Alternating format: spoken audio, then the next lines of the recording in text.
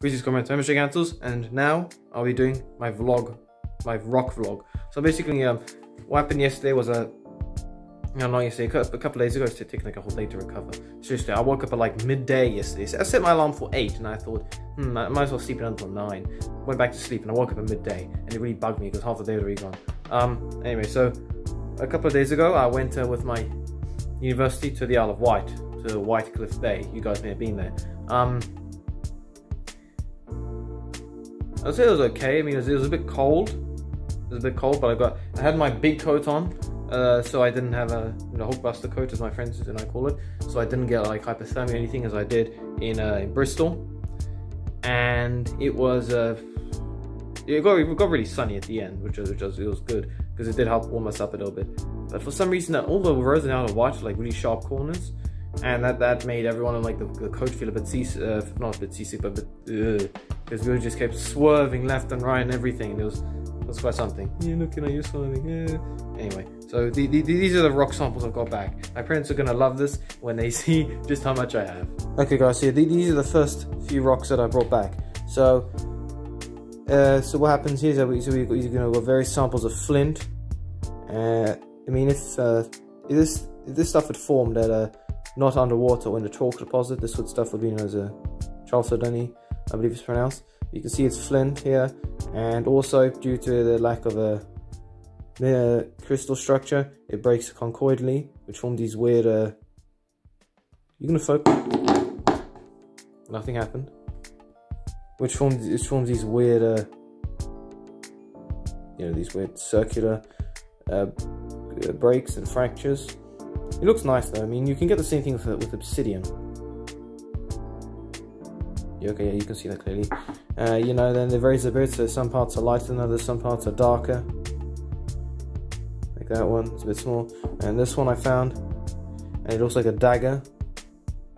You know, I mean, obviously it wouldn't be much use as a dagger because it's a bit blunt. And then this one, this one's a bit weird. Basically, it seemed to recrystallize in the middle. You are you gonna focus? Why is this thing not further? Sweet. Okay, there you go. As you can see, it seems to have recrystallized. I'm not exactly sure into what though, but it's recrystallized into something in the middle. A bit weird that. And it's also ended up, you know, causing various zoning stuff around there.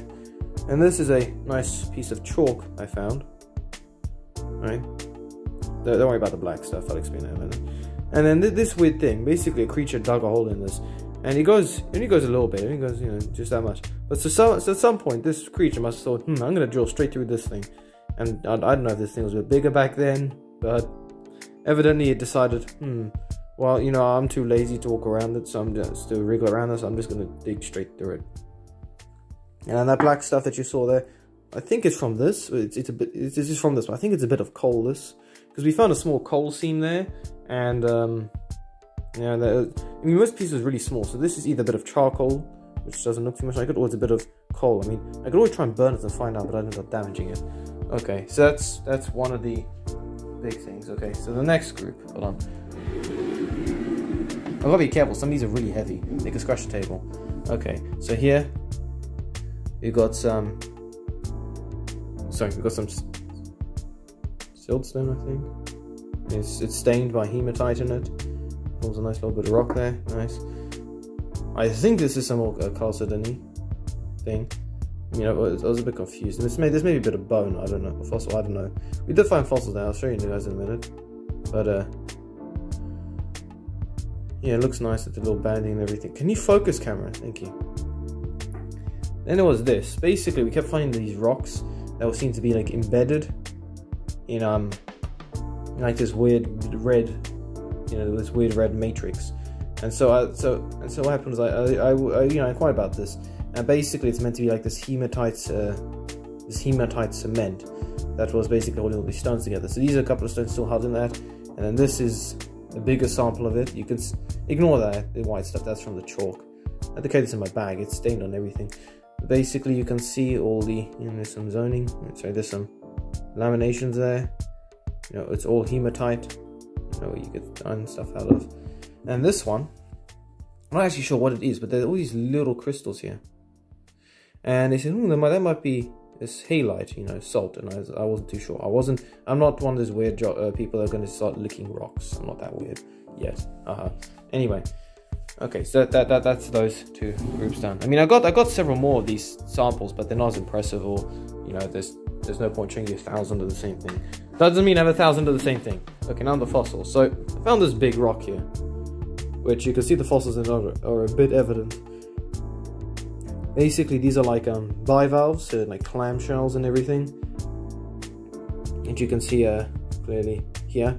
So this is this is its side on, and basically it broke off or was damaged in the process of sorry of rock formation. Some people found there there were a couple of people who who found a an echinoid, so like a sea urchin, okay? Found a fossilized sea urchin, but instead of it being like white and everything, it was because you know how fossils there, um, the bone, and the calcium in them is replaced with mineral, with a crystal, you know, with, with crystal, so you know forms a new rock. Okay, well they found an echinoid that had been entirely replaced with quartz. So it looked like it was a sea urchin that was that was it looked like a sea urchin, but it was basically a lump of quartz. It was awesome. And these the problem with the stuff there is that it's not proper rock there. It's um in Whitecliff Bay, it's more like mud, the consistency.